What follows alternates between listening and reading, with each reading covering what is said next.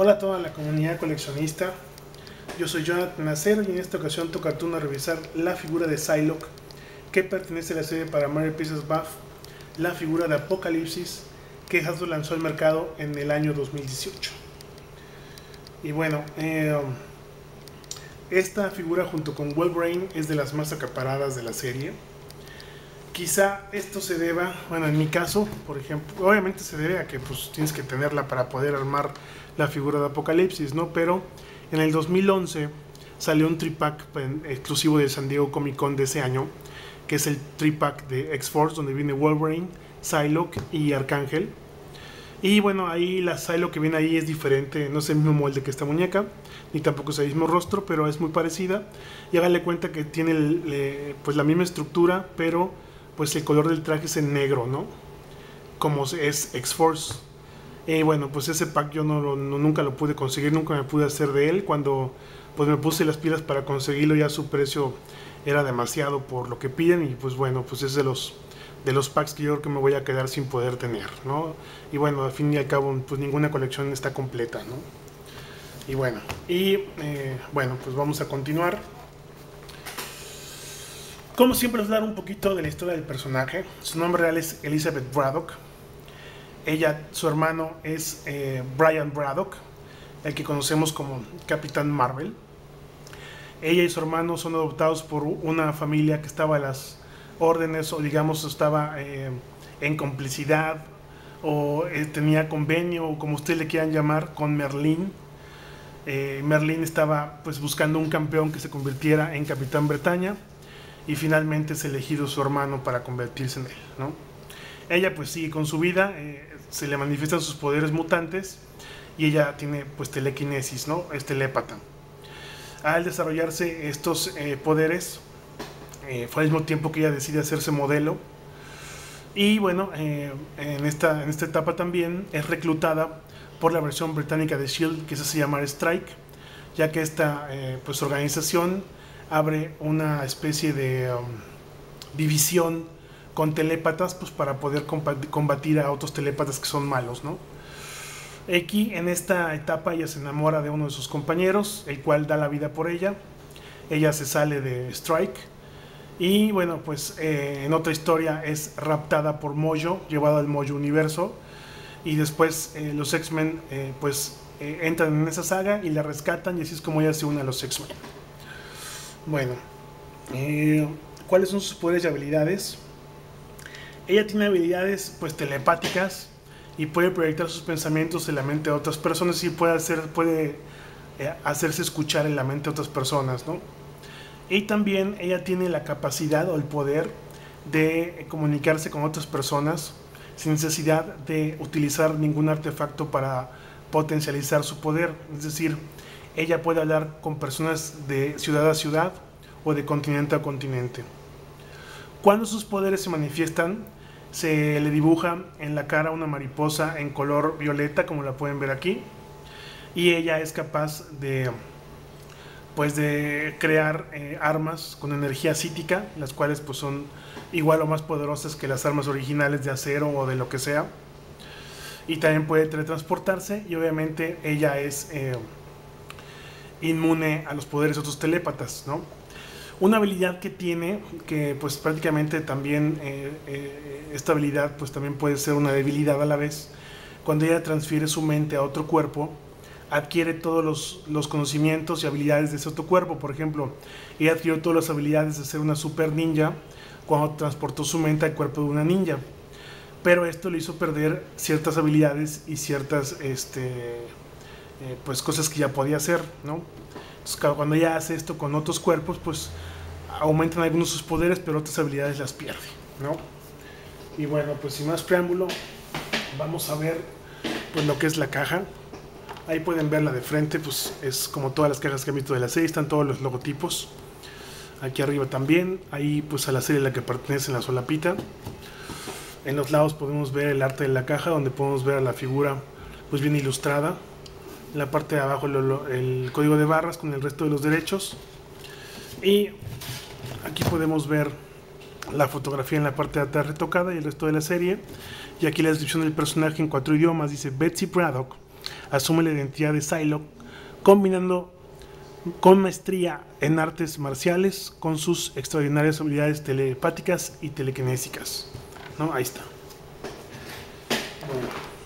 vamos a ver eh, pues la figura. Vamos a ver cuánto mide. La figura tiene un tamaño de los 15 centímetros, quizá un poquito más de los 15 centímetros. De accesorios trae, pues aquí podemos ver este listón que trae en la cintura, es un plástico en color rojo. Estos plásticos acá, esta que simula una daga, que es como muy clásica en ella. Aquí podemos ver el aura, que está como máscara.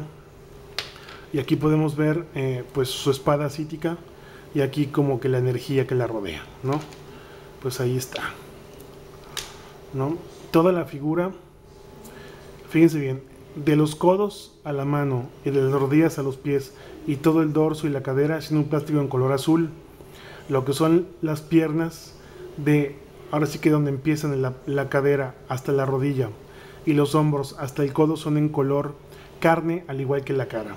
El cabello sí es en color negro, tiene dos plásticos la cara. Y las aplicaciones de pintura son aquí en azul, todo lo que ven aquí en azul. ¿Sale? En las piernas todo esto que ven aquí en azul también es una aplicación de pintura. Y en el, en el dorso y en la cadera, esto que ven aquí en color carne, aquí también es una aplicación de pintura. ¿Ok? Vamos a ver las articulaciones. Su cabeza puede hacerse hacia abajo, puede girar 360, es todo lo que puede hacer. Eh, gira 360 sus hombros, gira 360 los codos, gira 360 sus muñecas, gira 360 sus muslos y eso es todo lo que gira 360. Su dorso en la parte de arriba pues prácticamente se puede mover un poquito hacia los lados, girar un poquito, no se puede mover más. Trae un punto de articulación en los codos y la muñeca además de girar, eh, déjenme ver si trae alguna articulación. Mm, esta mano no trae así, puede hacerse hacia, hacia adelante y hacia atrás. Igual la otra mano una viene en puño cerrado y la otra puño abierto para poder tomar el arma.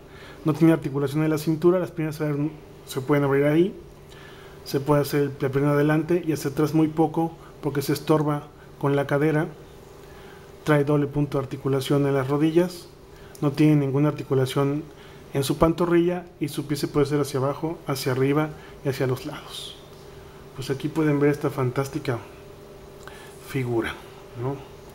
vamos a ponerle su barba y vamos a ponerle su aura de energía que está bastante bien hecha ahí como lo podemos como lo podemos ver ok ahí está y vamos a ponerle su máscara se le pone así nada más es como si se le pone a presión la verdad es que está bastante fácil no bueno hay otra figura de esta de esta de este personaje Aquí la tienen, es la versión de Toy Biz.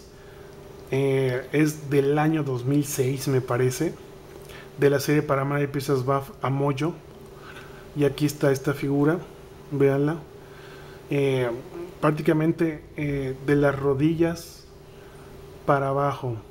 De los codos para abajo. Y todo lo que es el dorso hasta la cadera es un plástico en color azul.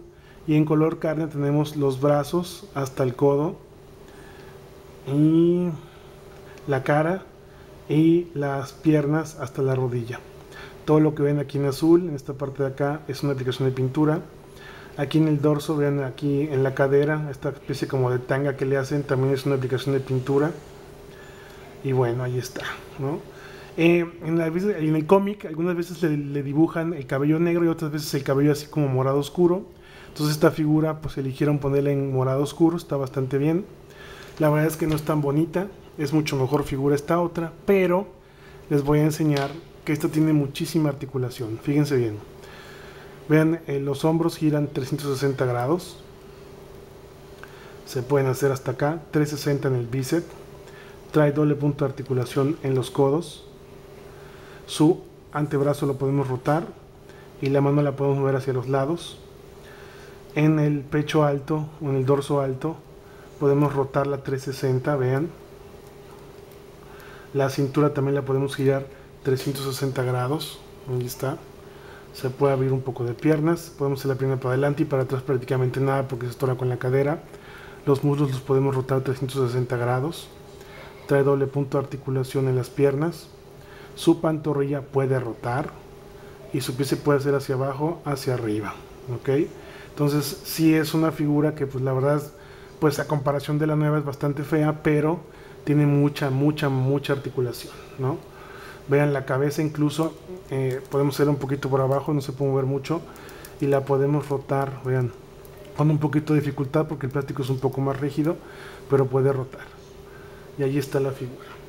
De hecho voy a tomar prestada de, esa, de la figura de ahorita su, pues su daga para ponérsela a esta y que se pueda ver así porque esta no trae ningún otro accesorio más que la pieza buff para armar a mollo. Al final del video les voy a dejar en un recuadro para que puedan ver pues ese video de mollo, ¿no? Y aquí están las dos figuras. Hasbro, que está preciosa la figura, y la de Toy Biz, pues que no está tan preciosa. ¿Ok?